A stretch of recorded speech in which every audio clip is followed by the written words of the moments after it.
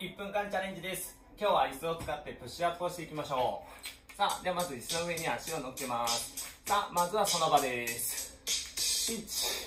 121さあプランクをキープしていく。さあ背骨長くキープできてますか？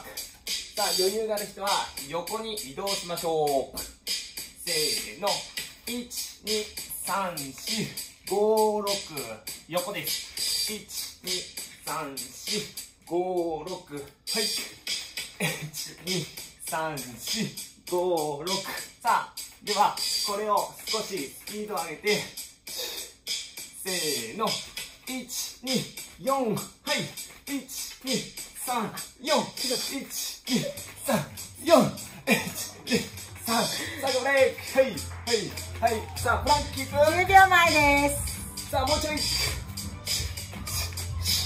5秒4さあお尻振らない2 1はい OK です。頑張りました。